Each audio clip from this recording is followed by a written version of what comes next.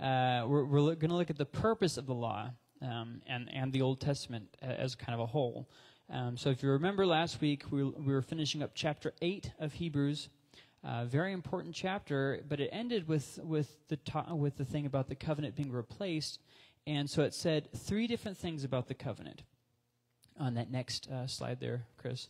The covenant was first off, it was faulty. So from its get go, it was faulty. From the very moment of its creation, it was faulty. The second thing um, is it is now it, has now been made obsolete because of of what Jesus did. He brought the new covenant. And the third thing that it said back then, at the time that it was written, it said that it is about to pass away. It is passing away. So at this point, it seems like it has passed away, is what it seems like. Um, during the time it was written, it was kind of in a transitional period. Um, I might be misunderstanding that, but that's as far as I understand it. So, before we get to the questions, we have to answer this question, which I neglected to answer last week. What is the covenant? I keep talking about the covenant. What is it? Well, okay, so there's two things. First off, the covenant is the contract made between God and Israel. Um, this happened kind of in stages. Uh, it happened with it, the promise of it w- was all the way back from the Garden of Eden when God told Adam and Eve that the serpent and they would smash the head and all that. That was the, the start of it. But it, we didn't actually see things come out of that until more of Abraham came onto the scene and we got some more promises there. But then the actual official um, legal covenant was established with Moses and Israel at Mount Sinai. He made an agreement there. Um, so, so it's, it's something to, to keep in mind is that the, the law, the basis of the law is the covenant. And the basis of the covenant is the promise. Sometimes when we're reading the Old Testament, we lump it all together. It's the Old Testament, or it's the law. But it's important to make this distinction. There's a promise. And then on the promise, the covenant was made on the promise. Think of it like a tower being built. And then on the covenant, the law was given. The law was given after the covenant had been established. It was part of the covenant. Okay? The law was not the first thing that happened, it wasn't the last thing that happened. Okay? So, uh, then the second part of the covenant is the new covenant, which is the covenant that we are under as Christians. This replaced the old covenant, um, and this is something that God has made between himself and his people, which would be Christians. We mentioned this last week. That does not mean that the nation, the ethnic nation of Israel, is cast off, that God still has a plan for them. However, salvation is through the new covenant, so we kind of looked at that already. I don't really want to get too much into that. And um, this covenant was formed f- by Jesus' death. That brought us into the new covenant.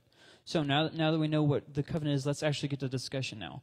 Why did God ever give the covenant if it was faulty from the start? Why did he give us the law and the covenant if it was faulty from the moment of its conception? He gave us a faulty law. Why?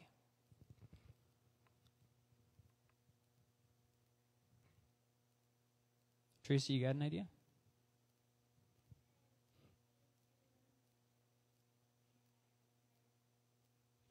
That's a good guess, but not quite. Anybody else? Why did God give us a faulty covenant? What's the point of that?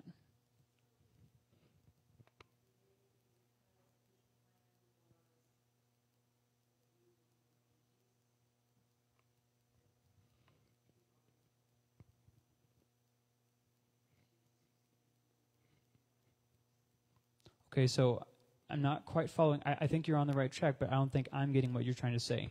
You're saying because God had a plan that he was going to send Jesus. How help me understand what you're trying to say about how that ties in with him giving the faulty covenant. I think I get what you're saying, but I, I want to hear y- you. Yes, yeah, so I think you are right. I think you are starting off perfectly right, exactly where on the direction we need to go. I'll, I'll repeat what she said, not just for the live stream, but just in case you guys over here didn't hear basically, because God knew that He was going to send Jesus, He gave something for that intermediate period to kind of, um, if I'm understanding what you're saying correctly, kind of like um, heading us in the right direction in looking for it, right? That's what you're saying. There was, yeah, there was going to be something that was going to happen, and so He gave that kind of like to as the in the in between period. Anybody else want to want to jump in here? Why did God give a faulty covenant? And you can build on what she just said, or come up with a different reason altogether.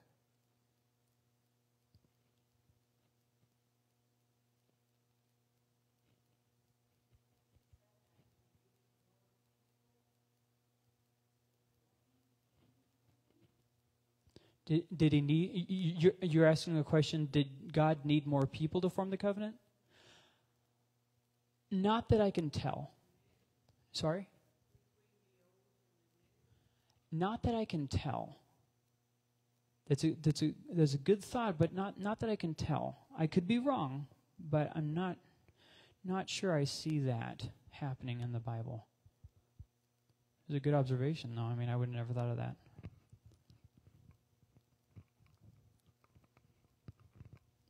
this is an important thing to think about, and, and, and, this is why I'm giving you guys lots of time to think about this because the Old Testament is a huge part of our Bible.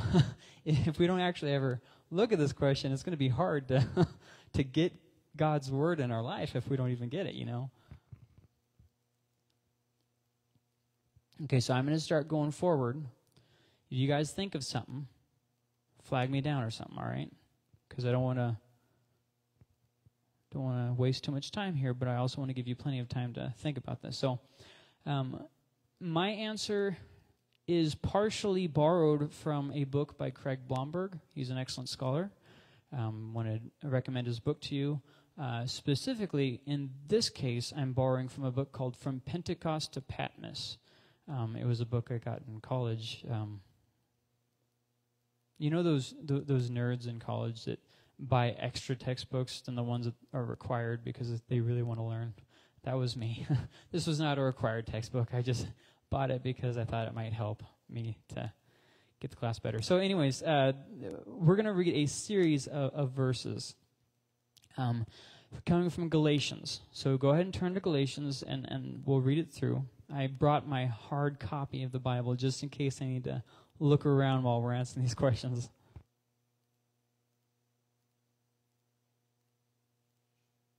Galatians chapter 3.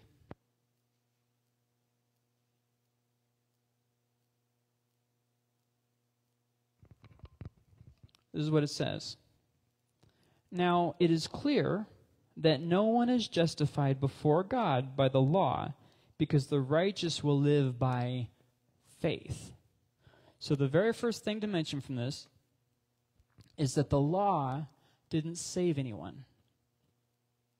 People came to salvation before the law and before the covenant, and they came to salvation after the law and after that covenant.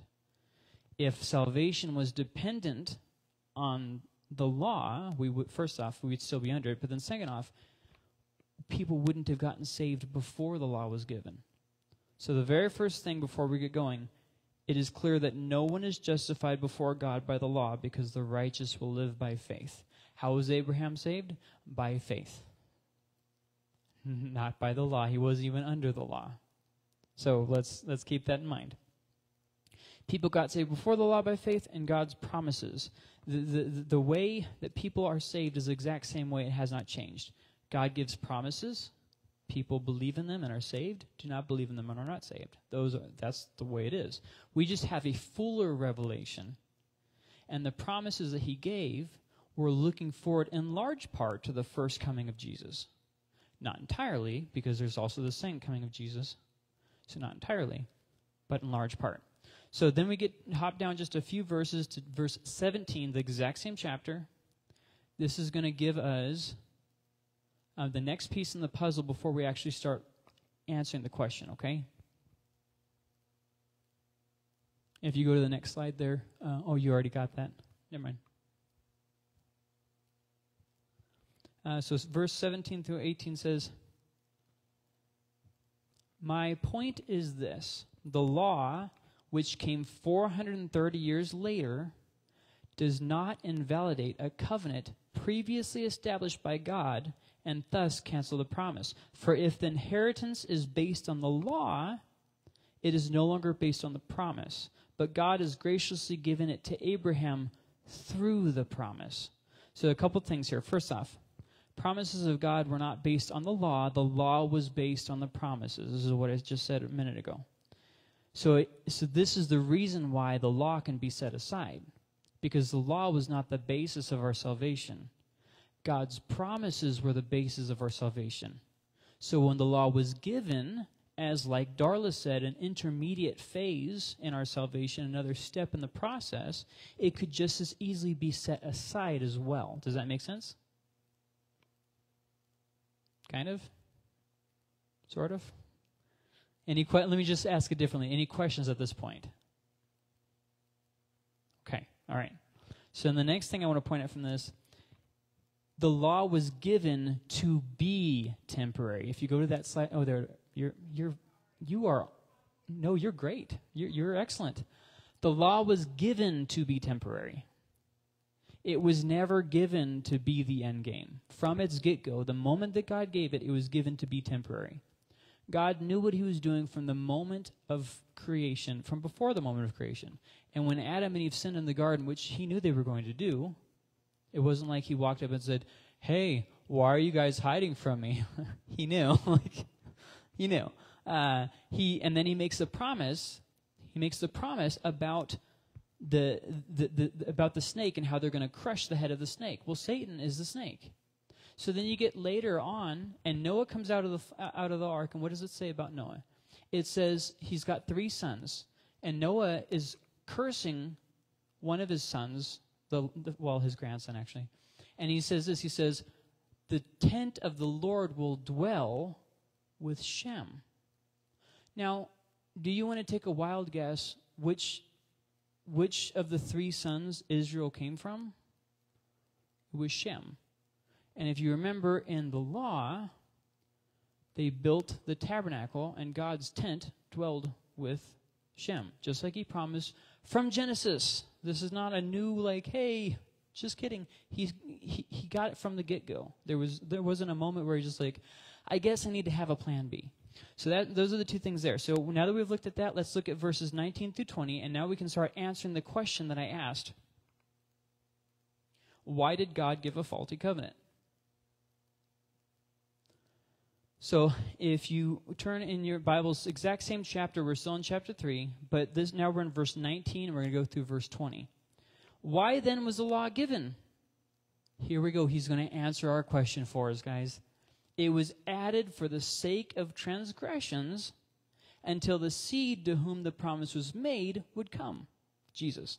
The law was put into effect through angels by means of a mediator. Now, a mediator is not just for one person alone, but God is one. So let's kind of clarify what's being said here because that's kind of a lot to take in.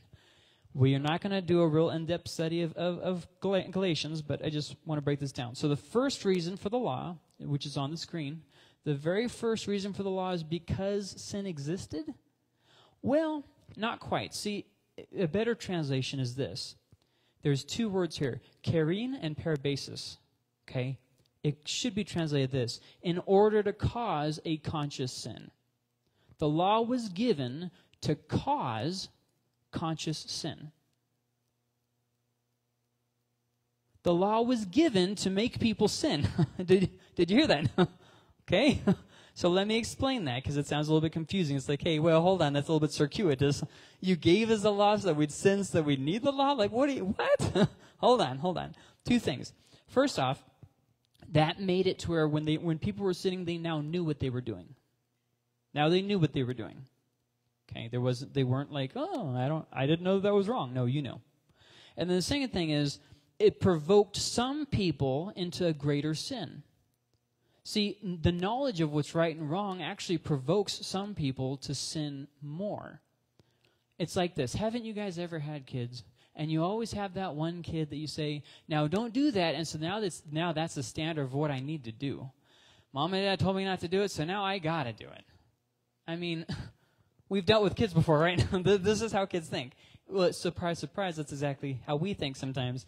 God tells us not to do it, and we think, well, yeah, but I mean, I'm above the law. Uh, like, here's a great example. God tells us, hey, don't be unequally yoked. But you know how often I hear, I hear Christians say, but I love her. I'm going, she's going to turn to Jesus because I'm going to love her enough to turn to Jesus. okay, all right. But then it doesn't work, you know, and of course it's not going to work. And even if it was going to work, God still told us not to be unequally yoked.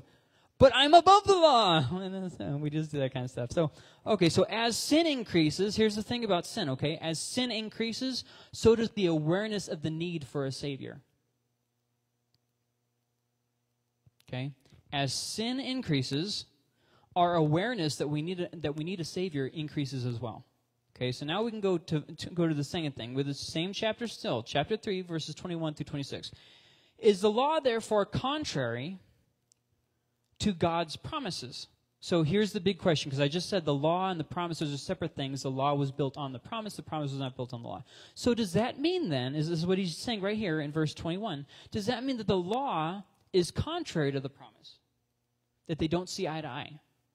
And then he says this he says, absolutely not. For if the law had been granted with the ability to give life, then righteousness would certainly be on the basis of the law.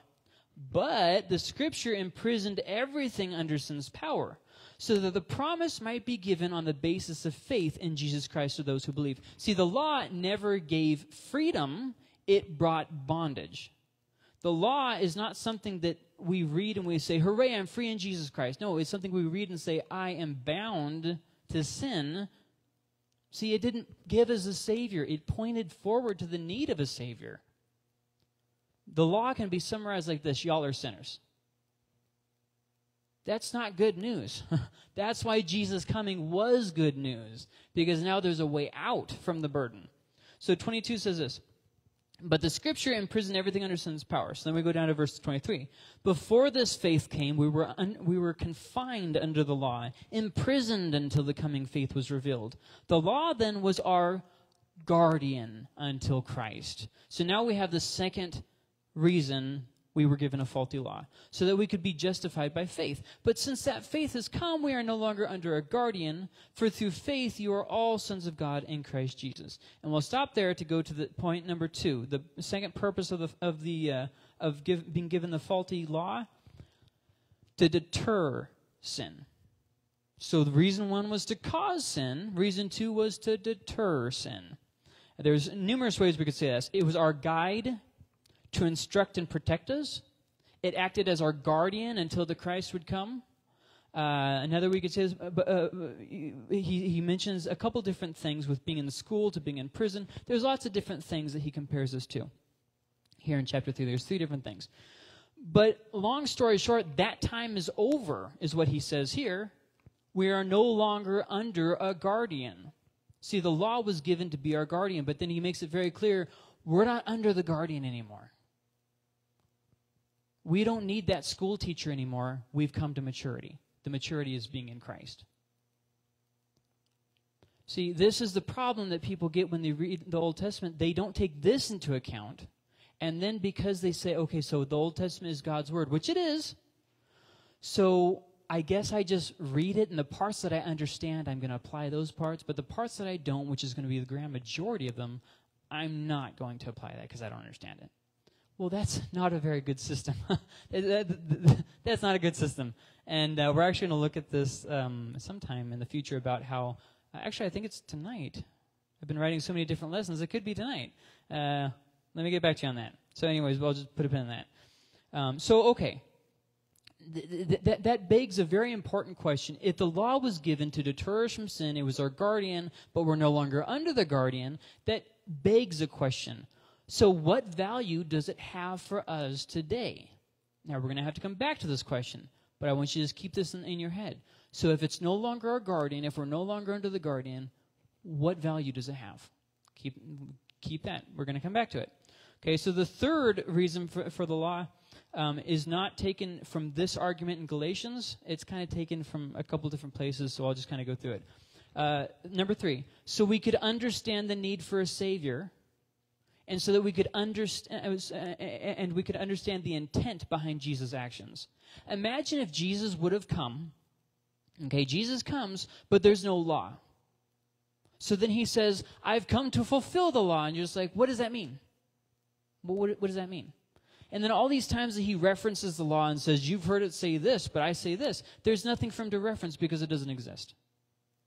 See, the law had to exist for him to reference it. Jesus' coming only makes sense in the backdrop of the Old Testament and the law. If you remove that and you just throw it away, you don't get Jesus. You don't understand him. So the third reason we, uh, he, he, he gave us this faulty system so that we could understand the need for a Savior and the intent behind Jesus' actions. We understand his life, we understand his death, we understand our need for a Savior. Uh, we understand that there are, in fact, moral absolutes. This is something that the Old Testament law taught us. Uh, and it also teaches us that salvation is beyond our reach. All, incre- all extremely important things to learn. Which takes us, uh, so we understand. That's the summary there. So the fourth reason it was given so he wouldn't have to wait to dwell with his people and show his goodness. God is a God who just he just wants to bless. He's chomping at the bit, if that helps you imagine it. He's not waiting to bring destruction. The Bible actually says that he draws no joy from guilty people getting what's coming to them. That brings him no joy. But it says over and over and over again about how much joy it gets when, when people are worshiping him and he's blessing them and just all, it, the whole Bible's filled with that kind of stuff. I can't even give you a reference because it's all throughout the Bible. So God didn't want to wait until the time of the Savior. He wanted to bless now. He wanted to get involved in people's lives. Can you imagine how much harder it would have been with Israel, for instance, if they had to go and do all that stuff without having any guidance with them? That would have been difficult. Difficult. Eh, what they did was already difficult. So people didn't have to do life alone until Christ came. God was there. He came as a pillar. He came as, a, as, as, as the fire and as a cloud. So, okay. The, the, the, fifth th- the fifth thing, the law revealed God to those who knew as well as those who had forgotten him, because this is what, what it was. In the beginning, everybody knew God. But it's been a long time since then. so all these people, they kind of lost, lost track. Kind of got off track there. As you study history, you see the exact same method, not method, system develop in cultures all over the world. It starts out they have a supreme being God. And then there's these other gods that eventually come into the picture. And then that supreme being God becomes a sky god. And then eventually, over the course of time, he becomes less and less important, and the other gods become more and more important. You see the exact same thing happen in religions all around the world. What am I getting at? Originally, people only served Yahweh. But it's been a long time since then. So people forgot that there was another God that they worshiped. He became the forgotten God. And so then we get all the way down to Acts when Paul's witnessing to people, and he, they actually have a temple just for the forgotten God. And little do they know that that was actually the original God. The one that they're forgetting is the one that they're supposed to be going to. And so he makes reference to this, and he calls them back to it. And uh, so a, lo- a lot of important stuff happening here. But the law had to be given in order to to remind people of what they had lost. So then the next thing, which would be the sixth, the law is a moral guide. And this is going to be shown once again in Galatians chapter 5 through 6. We're not going to read the whole thing because that's going to be two chapters worth of reading. So we're going to do a lot of summar- summarizing, summarizing, okay? Uh, the law is a moral guide, but that doesn't mean that we adhere to the Old Testament law. Okay, just to kind of keep that in perspective. So, Let's go through these things. I'm going to list uh, A, B, C, D, E, five different things. Uh, they're all on the screen at the exact same thing, and they make up, as a whole, the law of Christ. Okay? So, let's just go through this real quick. Chapter 5, verse 13 through 14 says this for you were called to be free, brothers and sisters, only don't use this freedom as an opportunity for the flesh, but serve one another through love. For the whole law is filled in one statement love your neighbor as yourself. That was from the Old Testament law, by the way. But if you bite and devour one another, watch out, or you will be consumed by one another. Um, and then, so that, so the first thing we see is the law of Christ, love. You go to the second thing. You keep going down to chapter 5, verse 16. I say then, walk by the Spirit, and you will certainly not carry out the desire of the flesh. And then go to verse 18. For you are led by the Spirit, you are not under the law. Okay, so let's keep going. So, two things there love, uh, avoid fleshly desires. Go to verse 22. But the fruit of the Spirit is love, joy, peace, patience, kindness, goodness, faithfulness, gentleness, and self control. The law is not against such things. Are you seeing how he's drawing a contrast between the Old Testament law and the law of Christ? Now you go down to the, was the fourth thing, I guess? So the third thing was lived by the Spirit. The fourth thing is in chapter 6, verse 1 through 2. Brothers and sisters, if someone is overtaken in any wrongdoing, you who are spiritual, restore such a person with a gentle spirit, watching out for yourselves so you also won't be tempted. Now, here in verse 2, carry one another's burdens. In this way, you will fulfill the law of Christ. Galatians is basically a, a, a, a treaty on our freedom. And it's written to people who are called Judaizers. Now, these are people who think that you have to do the law and faith to be saved. And Paul, throughout the whole book of Galatians, is refuting that. So here we get to the end of the book, and he's now drawing a contrast between the dead law and the new law, the law of Christ. So here we have uh, the last thing I want to mention financial stewardship. And this is not an exhaustive list of the law of Christ it's these types of things that are law of Christ, right? Like, here's a good example. Did you know that we have two or three different, I think it's two different lists of the kind of character traits to look for in a pastor? Did you know that neither of them are the same? They've got different things in the different lists. Do you know why? Because the lists are not exhaustive. There might be something else in the list that you need, or they might not measure up to every single one of those things can happen on either way. See, sometimes you're going to have somebody that meets a bunch of those requirements, but they fall short one or two places. That's okay. They're still qualified to be a pastor. The thing is, you need to be aware of the idea of the list. Does that make sense? And, that, and, and I'm making it real simple here. So, how does it apply to the law of Christ? This is not exhaustive list. There's other things too. And you're not going to get all this. Okay? But it's that kind of thing. Okay? that, that type of thing. So uh, it's kind of, uh, well, I guess that's as good as you can say it. These sorts of things are the law of Christ. So, chapter 6, verses, we'll just read 7. Don't be deceived. God is not mocked. For whatever a person sows, he will also reap. That's financial stewardship. And that it gives us a kind of a list there. So, we've looked at five, I'm sorry, six different uh, causes, reasons why the faulty law was given to us. And now we can go to the next part which we're going to kind of try and, and, and, and put some pieces together quickly here. First off, and just go to that next slide, it's all there. Um, first off, the law was not complete. The law of the Old Testament was not complete. It does not address every issue there is to address. It does not address every issue there is to address. Where does the Bible say? You hear people say this where does the Bible say that I can't do that? What, what does the Bible say about porn? Well, the word that's not going to really appear in the in the Bible. That's that's more of a new invention. Okay, it's going to say things like, "Hey, sexual immorality," but it's not going to use the exact word online content, like words online content. It's not going to do that. Like that didn't exist. Okay, um, we nowadays smoke a lot of weed, a lot of weed. Well, it, people didn't really smoke that much weed back then. So you really have a little bit of, it's not going to really talk about that. It's going to say about not being intoxicated. It's going to say that, but it's not going to say, oh, and cocaine and heroin. And it, you can't expect that from the Bible. It's just silly. It's just silly. So the law was not complete. It does not address every issue. Tell me, um, tell me, can you find me a single verse in the Bible that talks about uh, female equality? How about uh, which way to vote? No. Uh, how about gun rights? No. Yeah, because the law is not complete. It's not a complete list of how you should feel about every single thing. Its point is to point you to Christ. And what people do is they read the law and they think it's something, this is how things should be. The law does not tell us how things should be, it just points to our lack and our need for a Savior. For instance, the law allowed for slaves.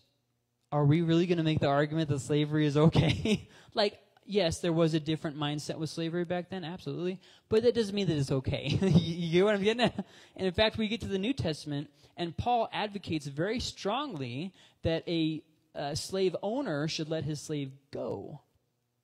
He should let him free. There's a whole book about it. so, I mean, it, absolutely, yes, the, the law did not mention every single issue. And to say something along the lines of, so what does the Bible say about this hot topic? It misses the point entirely.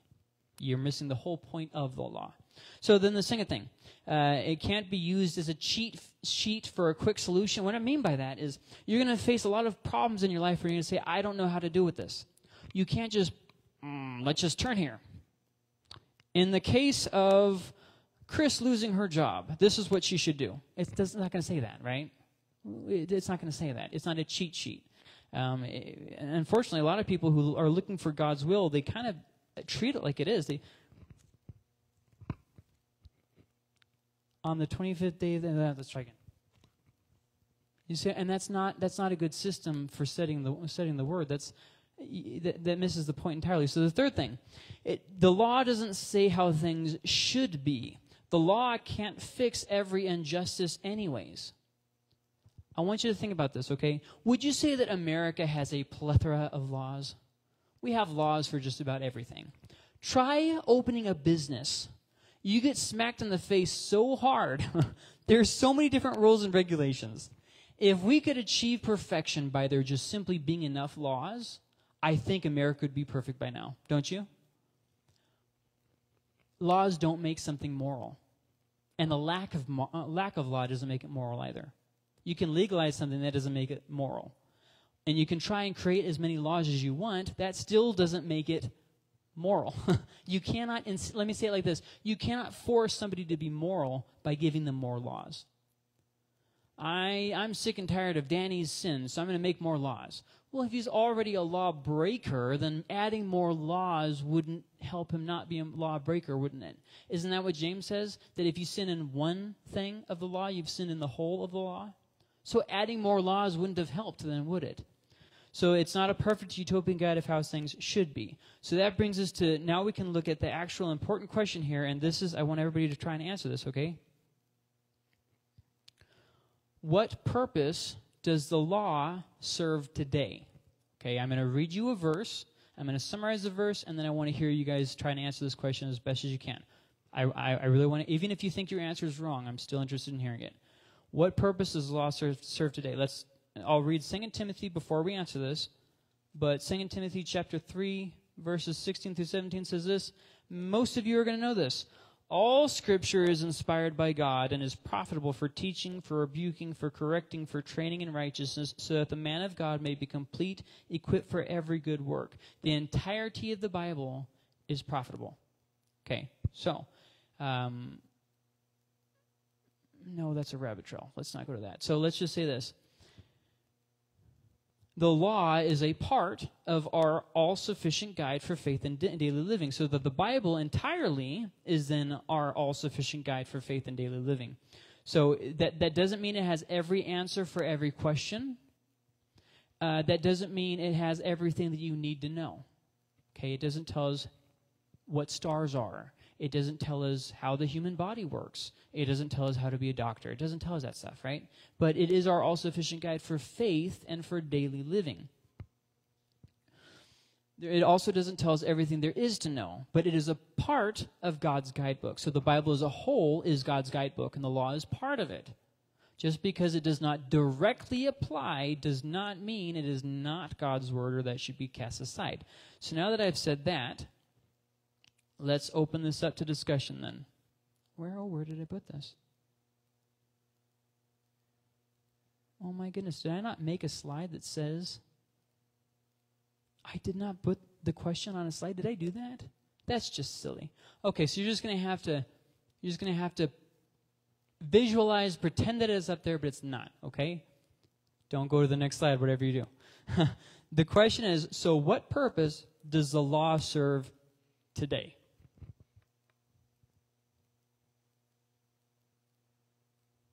Okay, so your answer to the question, hold on just a minute. Your answer to the question, what purpose does the law serve today? It is a it's a moral guide for our hearts. Is that what, is that what, basically what you're saying? Okay, just want to make sure I got that. Any other ideas? Looks like you're about to say something. You're itching. Okay, so let me see if I can summarize. Let me see if I can summarize. There's a lot of good stuff there. How many summarize here? There's, um, it was it, it, it is still beneficial for us today in that it helps us to know the right direction, generally speaking, keeps us on track. And then you also said something else. Um, oh, shoot. I can't remember what it was.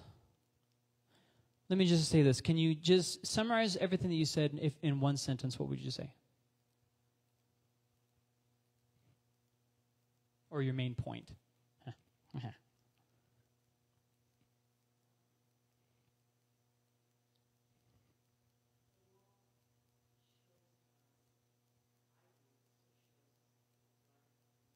Okay, so the law still shows us what's right and wrong. Okay. Were you raising your hand? So it's a basic guideline of how to treat God and people. Okay. All right. Anything else?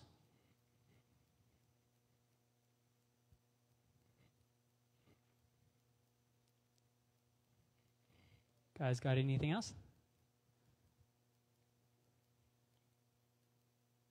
Okay. I'm going to go through these these next things relatively quickly. So if you think of anything, do something with your hand, something that I'll see. Um, uh, for this next section, I want to strongly recommend. Well, I don't want to recommend because it's not. You're probably not going to get much out of the book like I did. But I'll just say that I got a lot of what I'm going to say to you. I was heavily influenced by a book by Sidney Greidanus. Um, it was called "Preaching Christ in the Old Testament." Um, honestly, you probably won't want to ever read it, but it had some very interesting stuff in it for me. okay, so uh, I don't, I don't want to plagiarize or anything. and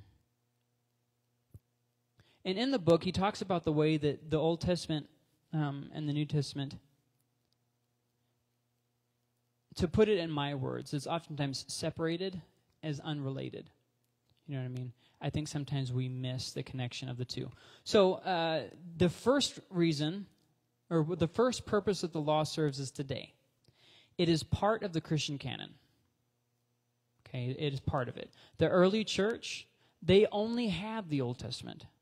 The early church didn't have the letters of Paul. It didn't have the Gospels of Jesus.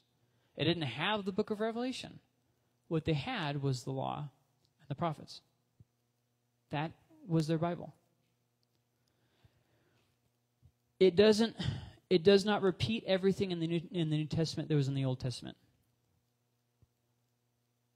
Okay? There's a lot of stuff in the Old Testament that is not repeated over again in the New Testament. And people ask questions a lot like this. I'll come back to that. I'll come back to that. Um, and the New Testament assumes that you have knowledge of the Old Testament. It references it, it guides on it, it builds on it. If you didn't read the Old Testament, you wouldn't get that. In fact, I will say this you cannot understand the New Testament if you do not read the Old Testament. I don't think there's there's anything else I could say that, that would summarize it like that.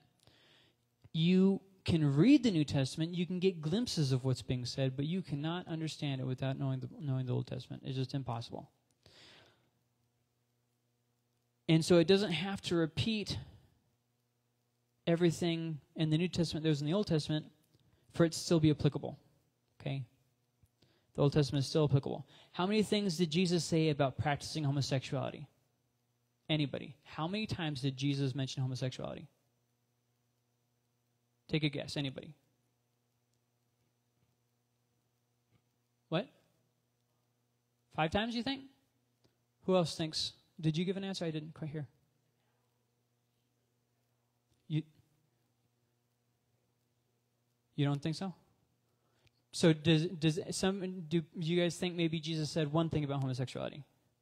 Maybe one? No. You guys are right. He did not say one single thing about homosexuality. Do you know why? Because the Old Testament already did. why would he have to repeat everything the Old Testament said? He also didn't say anything about the laws. I mean, I'm sorry, the, the, sacrifices. He also didn't say anything about, you know, all the other things. He didn't say anything about it, you know, the, the not trimming the edges of your beard and stuff. He, never said anything about that either. he didn't repeat everything that was in the Old Testament. So that's the first, that's the first um, way that the law still applies to us today. It is part of the Christian canon. The second thing The New Testament is the climax of God's salvation story, but the Old Testament tells the build up. It's the Old Testament that tells us all those stories of God intervening. The New Testament doesn't tell us that. I mean, honestly, look at the New Testament. How many times does it tell all those th- times of people barely almost not making it, and then God comes in and swoops and changes the whole thing? Well, turn to the Old Testament, we've got plethora of examples. I mean, they're everywhere. Examples in Judges, examples in Samuel, examples in Kings. You go through the whole thing, it's nothing but examples of God and his story of, of salvation. Well, you missed that in the New Testament. I'm not saying the New Testament isn't important, but I am saying the Old Testament is equally important. The third thing the Old Testament teaches truth that the New Testament does not teach because they are meant to complement one another. Okay? So the Old Testament teaches that we have a mandate to care for the earth, for instance, in Genesis chapter uh, 2, I think. Where in the New Testament does it say that? There's a lot of things that the Old truth that the Old Testament teaches that the New Testament does not. Because the primary purpose of the New Testament is mostly Jesus and how that applies to the church but mostly Jesus. like that's the whole whole idea there. We're, we've been doing Hebrews uh, every week here on Wednesday night for a while now. Can you imagine how difficult that book must be if you've never read the Old Testament? I mean, it just doesn't make sense one way or another. So, anyways, uh, the next thing. So this is before. Um, Revela- books like Revelation in the, New, in the New Testament heavily depend on the Old Testament prophets if you don't know them, you miss the, re- the references that are being made in Revelation. And that opens you up for some very strange doctrines. Very strange doctrines. The Old Testament gives us our root.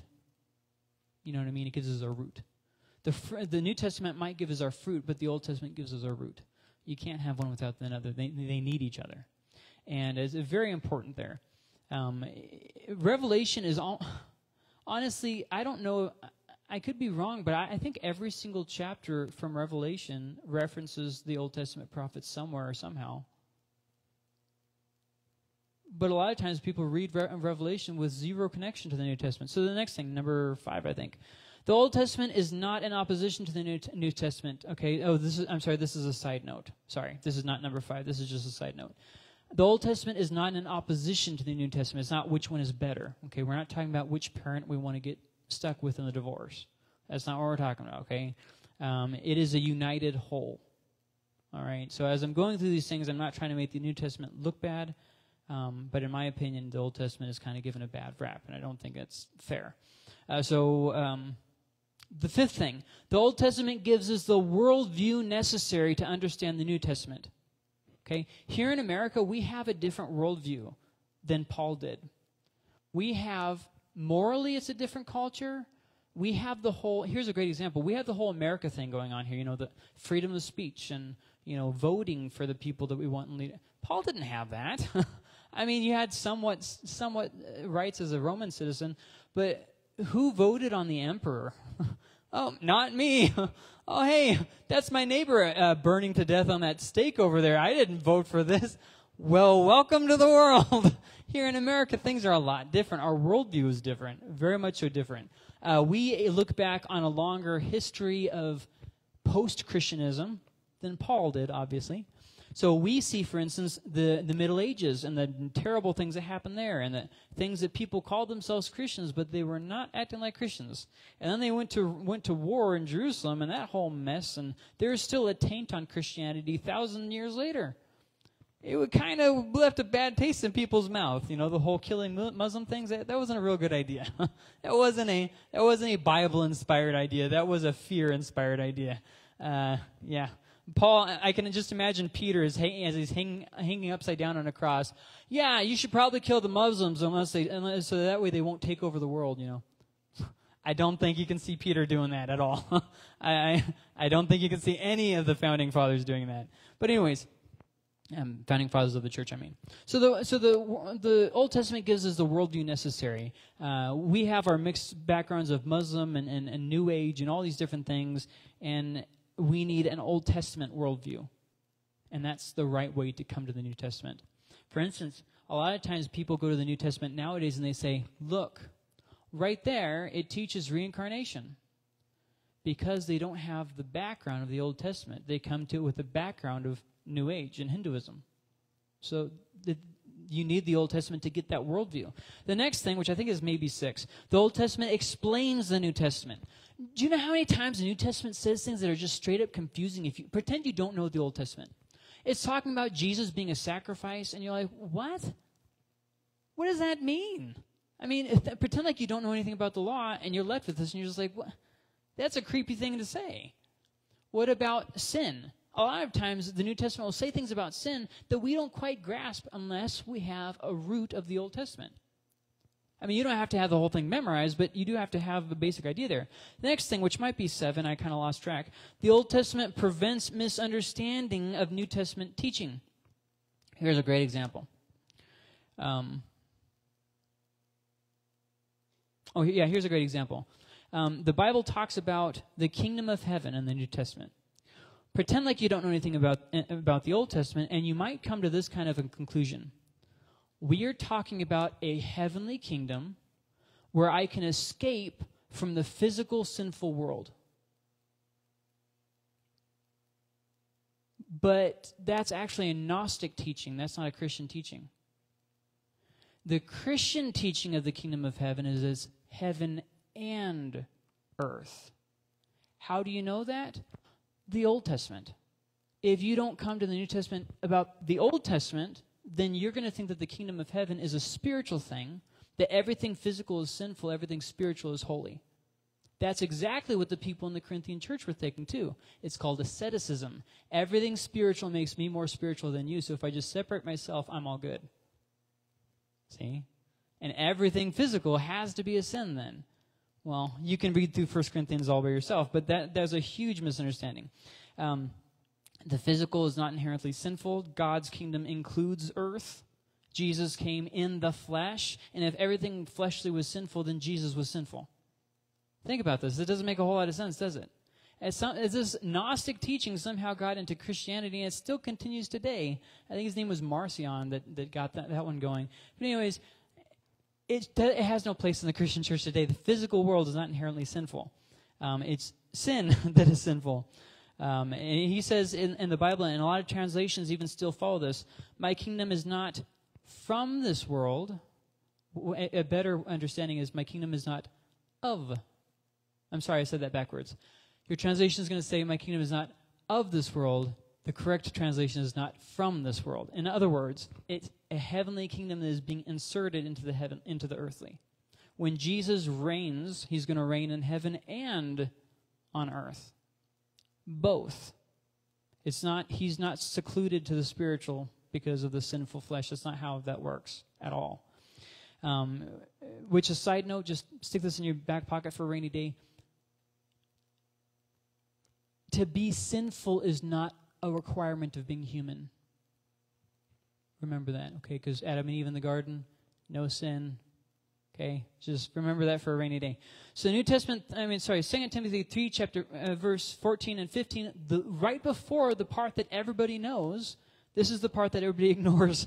But as for you, continue in what you have learned and firmly believed. You know those who taught you. What has he learned? What was handed down from his Jewish ancestors. It was the Old Testament that was handed down to Timothy. It was the Old Testament that he was supposed to keep firm. And the New Testament just concluded the thought. And um, you know that from infancy you have known the sacred scriptures, that would be the Old Testament, right there, um, which are able to give you wisdom for salvation through faith in Christ Jesus. The Old Testament is able to give you wisdom for salvation through faith in Christ Jesus. The Old Testament gives you the wisdom for it. See that? New Testament scripture too, but at this point, there was no New Testament for him to turn to. he, he, was raised because let's say he was 20. This was probably written in like the 60s. So we're talking about the 40s, so there would have been no single New Testament document written at that point. So if he was raised with it, it would have only, historically speaking, have been the Old Testament. So let's plow ahead and kind of wrap up some ideas here. The last thing, the Old Testament gives a fuller understanding of Christ than the New Testament on its own does. The New Testament simply highlights key parts, but it's the Old Testament who gives us the accurate image of the Christ. The New Testament just says, look, here he is, he fulfilled it. And then it references back to the Old Testament. But it's the Old Testament that says, this is, this is the Christ. Isaiah tells us about the suffering servant. Psalm tells us about the, the, the majesty on high that, that, that sat at God's right hand while God did his work, right? That's Psalms that tells us that you get to the prophets and it tells us about the coming day of the Lord where, where the Messiah is going to reign and all these different things are going to happen. Ezekiel tells us about how with the coming of, of the Messiah, God's presence is going to return. Uh, Amos tells us about how in, in the day of the Lord that God's people are going to have a land that they're never kicked out of again. It's the Old Testament that says these things, not the New Testament. It just makes reference to it. So, there is no doubt that somewhere, someone, and we I got to wrap things up kind of quickly because it's getting late. Somebody somewhere is no doubt thinking in the back of their mind, and I even have a slide for this because I know somebody's thinking this somewhere. What about Matthew five seventeen? Well, what about it? Let's turn there. Don't think that I came to abolish the law or the prophets. I did not come to abolish, but to fulfill. Well, now hold on here. This is a little wrinkle in the page now, isn't it? And then he goes on to say, For truly I tell you, until heaven and earth pass away, not the smallest letter or one stroke of a letter will pass away from the law until all things are accomplished. Therefore, whoever breaks one of the least of these commands and teaches others to do the same will be called least in the kingdom of heaven. But whoever does and, does and teaches these commands will be called great in the kingdom of heaven. For I, t- excuse me.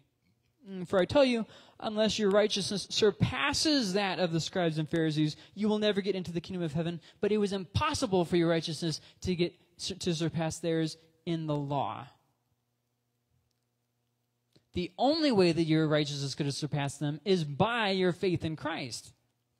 Which brings us to the conclusion of this little little conundrum. And unto this I owe in large part to Duvall and Hays' Grasping God's Word, third edition. Check it out. Probably one of my favorite books. There are a couple different parts to this answer. The first part of this answer. First, it does not mean that the Old Testament law and the Old Testament and the Old Testament law are eternally binding. That's not what he's saying. Because if this is what this is how people interpret this all the time. Don't think that I came to abolish the law of the prophets. I did not come to abolish, but to fulfill. The law is always in effect. It's never not going to apply to me. But that's not that's not what he's saying. If he was saying that, here's the problem you're going to face. That would mean that the sacrifices are still in effect. Because it's part of the law. You cannot separate the sacrifices from the law. So if he's not saying that, then what is he saying? Well, that takes us to the second part of this. He didn't come to write them off. Jesus did not come down to earth just so that he could take the law and say, whoosh, like on the movies, you know, and sweep it all off the counter. You, you know what I'm, with the, with like, they'll have all the glasses there. Whoosh. He didn't come for that purpose. That's not why he came. Rather, he came with the intent of bringing about their intended conclusion. And as Paul told us in Galatians, they are concluded. And that was his purpose to come and fulfill the law. See, Jesus came as a Jew, he lived as a Jew, he was under the law, he fulfilled the law. And in fulfilling it, he set us free from it. There had to be the fulfillment. And that's what he's saying here. I didn't come to just ignore it and pretend like it didn't exist. I came to live as a Jew to fulfill the law of the Jews. So, he then, he then goes on to change from, from this part right here. If you keep reading chapter 5, this is your homework for the week. Keep reading chapter 5. Jesus is going to go and change the law. Right after he said, I did not come to abolish, but to fulfill, and then he's going to change it. There are some things he's going to say that he's going to make it more severe than it was before. You've said in the law not to do this, but now I have something even harder for you to add to that. You can't even do it with your heart. You can't even do it in your heart with your eyes. Then there's some parts of the law that he's just going to pretty much write off, completely just ignore it. Read through Matthew five with an, and once again pretend like you're a Jew, The law is all you care about, and then read Matthew 5 through 7. And you're going to be surprised at the different things that Jesus says and how it relates to Old Testament law. I don't want to rip off that, um, that very, very impactful situation, so I'm not going to answer those questions for you, but I strongly encourage you to read those chapters yourself and see, and see for yourself how that plays out. So, anyways, moving on. Um, so, Jesus' main point from Matthew 5 17 not that it's binding, but he fulfilled it. So then, and here, here's what we can take away from Matthew 5.17 for us today. We have to reinterpret the Old Testament.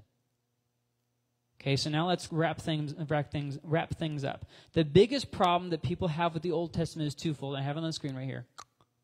Hold on. Haha, see, we almost got it. Uh, twofold. Number one, where people pick it apart. They pick parts from the Old Testament law and try to fulfill those parts but they don't try to fulfill the whole thing because they're not in their backyard butchering a cow, right? they're not, they don't have a priesthood with a tabernacle on it. They don't try to do that. but they try to take certain parts out. Um, like, for instance, don't get tattoos, but it's okay if you trim the edges of your beard, right? So we're going to pick and choose which parts. And even a lot of people in the Assemblies of God do this where they'll say, okay, there's basically three types of laws. There's moral, civil, and ritual. Ritual doesn't apply to us, moral does, and civil usually doesn't. Well, the problem with that is you're just picking it apart. The second common problem with the, with the law, the biggest problems today with the law, is blindly applying it. This is where you read it and you don't think at all about what's changed. You don't think about the New Testament or who you are in Christ. You just read it and then try to instantly apply it to your situation. Huge mistake. Huge mistake. Number one, we're not under the Old Testament, Old Covenant. Number two, we aren't Jews. Those right there is going to give you a, two huge problems with, with just reading the Old Testament and applying it. Does it still apply? Yes, but you have to reinterpret it in our context. Our context is one after Christ came. Their context was one before Christ came. We do not have an ethnic covenant. They did have an ethnic covenant.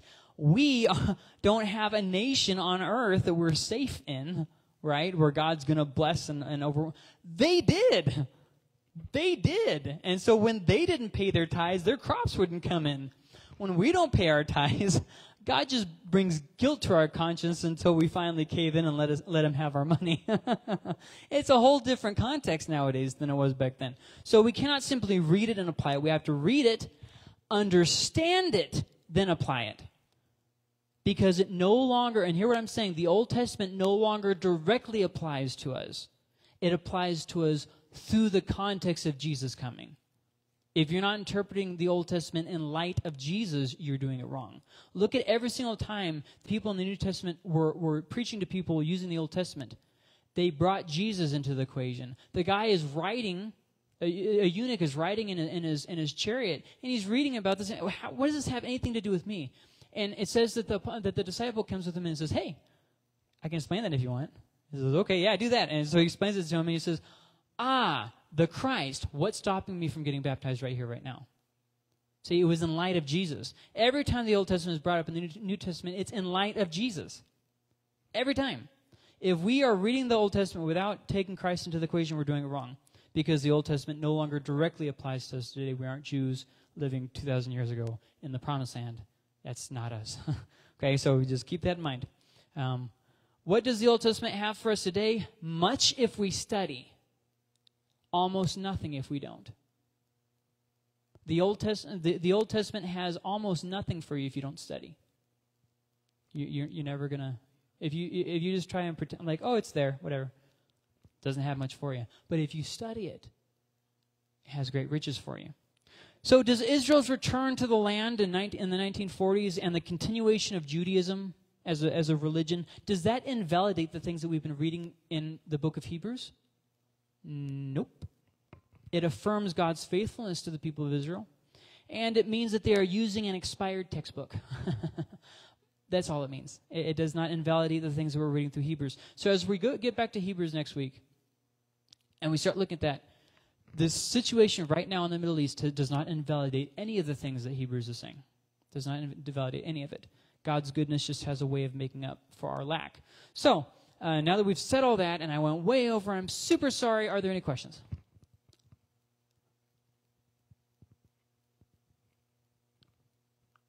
No?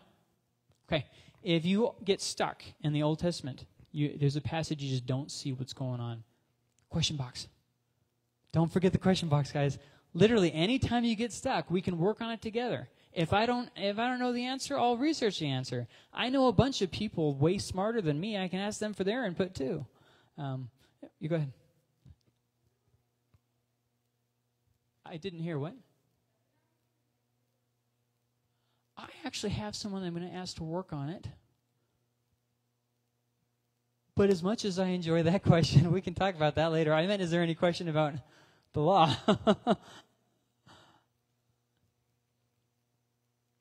now, this was a very difficult lesson, guys. So if, if, there was just too much going on, think about it for a little bit. We have it online. Go back and watch parts that you found confusing. Maybe if there's certain parts, you can always write it down and just say, hey, look, you said this. Can you explain a little bit more? I'm not getting it. There's zero problem with asking questions. There are no stupid questions. The only stupid question is the one that's not asked. Uh, Lord, thank you for your word. Uh, help us to always treasure um, just how much, well, treasure you've given us um, in, in your word and how it how it is such a such a valuable asset to our lives, and how it is profitable for us to to be corrected and, and rebuked and encouraged. Um, that we would look to it and and seek you, Lord, in all things. And uh, Lord, as, as we're reading the Old Testament, help us not to leave it then and there for the Jews. Help us to read it here and now in light of Christ. Help us to go to it and read it and take it over into the now under the law of Christ and not under the law of Moses. That we would uh, that we would seek you in all things and we would find you in all things, Lord. We love you. Amen.